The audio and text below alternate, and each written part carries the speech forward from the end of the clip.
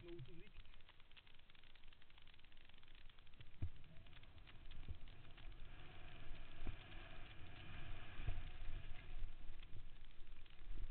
Family, oder? Gas!